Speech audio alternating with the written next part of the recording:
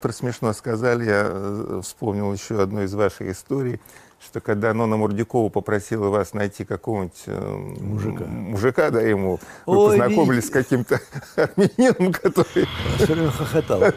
А на чем смеется? Я говорю, ну ты смешно рассказываешь. Ну, когда дош- до- дошло до дела, якобы, Так. он, увидев ее во всей красоте перед постелью, он стал хохотать, как безумный. Ужасно. И она его выгнала, она пинком выгнала из квартиры. Сказала, и утром мне говорит, Вить, что за дурака ты мне, придурка да- дал такого? Я говорю, ну, ну, ну какой попался? А, ну вот э, вы дружили ведь, да, с... э, Ноной Викторовной? Да. Очень. Э, У вас ведь... э, Я дружил с Папановым, с Юматом, с Мордюковой, с Гундаревой. Это были мои... А с Олегом Борисовым очень дружил, Олег Иванович. Просто я не знаю, как по факту, но по репутации вы были самым э, известным ловеласом и Дон Жуаном в нашем кинобомонде. Наверное, я не знаю. Ну вот, во всяком случае, молва, молва так, такая была. Вот э, Нона Мордюкова в вашей системе координат, она привлекательна была как женщина? Очень. Да? Она была а, не такая энергетика. У нас ни- ничего, не при, Господи, ничего не было. Сразу вот так Да. ушли. да? Нет, нет, нет. Она была хороша, она энергетически, она была женщина, понимаете?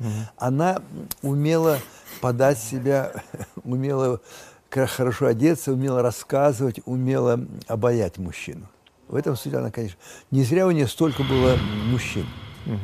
У нее столько было мужчин, потому что она сама была Она по этому женщина, она женщина была. вопрос. да. Она очень сильная была женщина. Там слабый мужичок не мог прохилять никак. Мгм. Нет. А как вы относитесь, кстати, в этом контексте вот к этой волне, которая к нам из Америки пришла, всех этих разоблачений, сейчас актрисы вспоминают. Отрицательно, резко отрицательно. Я считаю, что... Боитесь? Нет, я не боюсь, но это гадко. Чего мне бояться? Я же не женщина. Нет, ну так еще. э, вот и вот это и боятся сейчас э, актрисы, как начнут вспоминать, как Мирешка Не, не, я, там. э, Женя, есть одно правило. Никогда не заводи флирт с актрисами. Никогда. Потому что, во-первых, если она снимается у тебя как у режиссера или сценарий, то она начинает предъявлять свои претензии и э, дома- вымогать то, что тебе не хочется. Ты перестаешь ей управлять. Ни в коем случае, не дай бог. Ну, у вас, тем не менее, был уж как минимум с одной очень известной актрисой. Ну, короткий очень, два месяца. Ну, нормально, за два месяца можно дело наделать. Не, Достаточно. не, не потом. наделал. Эта актриса недавно мне звонила. Я Так. понимаю, о ком речь. Ой, а я буду в Питере, а я скоро поеду в Питер. Я говорю, так там встретимся, конечно, встретимся. Да, вы же живете как бы, ну, на два города, я понимаю. Москва, Да, Москва, как Москва я называю Питер. бисексуалом. Бисексуал. Да.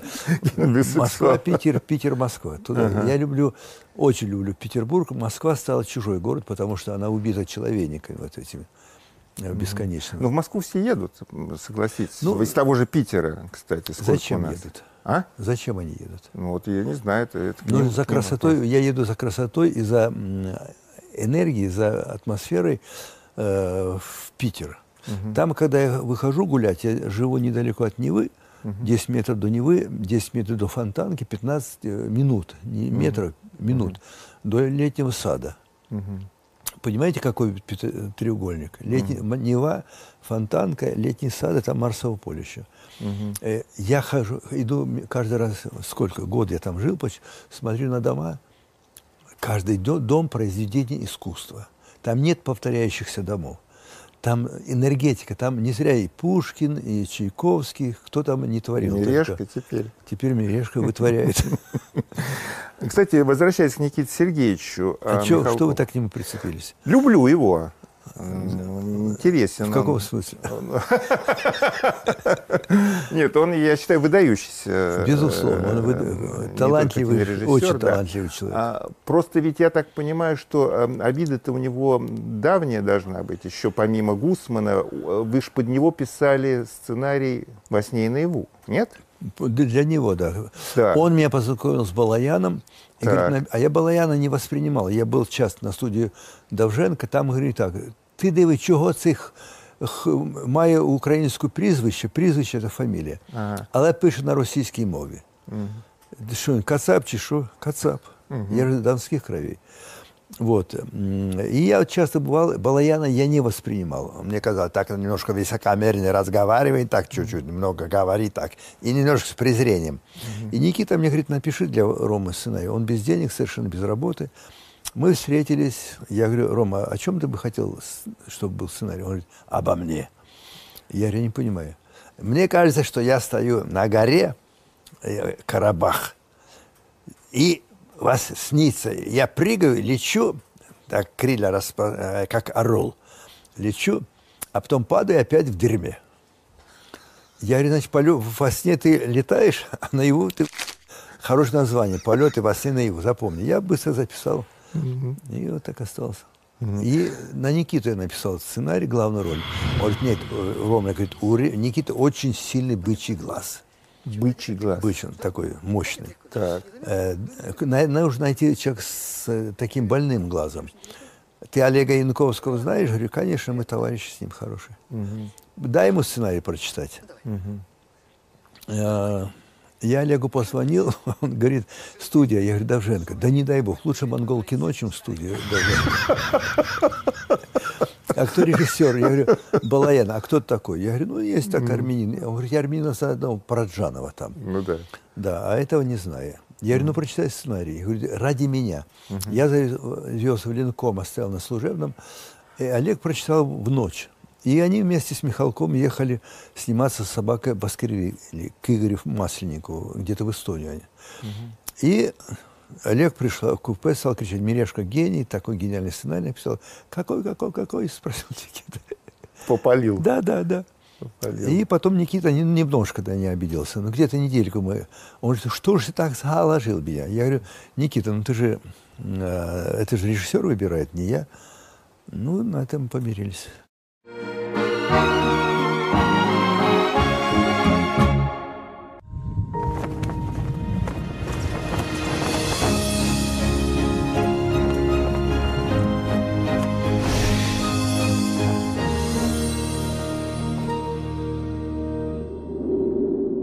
Насколько я понимаю, э, ваш наследник, ваш сын, э, будет делать что-то типа ремейка по вашему сценарию. Не ремейк, нет, Женя, это не ремейк. Я вам скажу, это э, мне один приятель говорит, слушай, сейчас одна из самых важных больных тем – это одиночество женщин. Найти нормальную мужике, красивую нормальную женщину очень сложно очень сложно. Поэтому, говорит, э, напиши ты что-нибудь похожее, полеты, но, но, но про женщину. Я написал сценарий, который называется «Одиночество сволочь». Вот как Слава поет песню «Одиночество да, есть такая песня. Да, да. я пере, переначал. Там 40 лет, 45 лет актриса, бывшая звезда, муж есть, но мужа нет, дочка есть, но дочки нет. То есть семья есть, но семьи нет. Угу. И она ночь э, в канун дня рождения проводит э, одинокая, болтается по, по городу. Mm-hmm. Абсолютно одиночество. Вот такой сценарий написал. Даст Бог, Ваня, Иван сын будет снимать. Я... Вы э, всегда, э, когда пишете сценарий, кого-то представляете, в смысле а, актера под нет, персонажа, нет, нет? То есть нет. иногда просто вы пишете Сейчас я персонаж... написал сценарий, горжусь этим, э, про лесника, который борется с пожарами.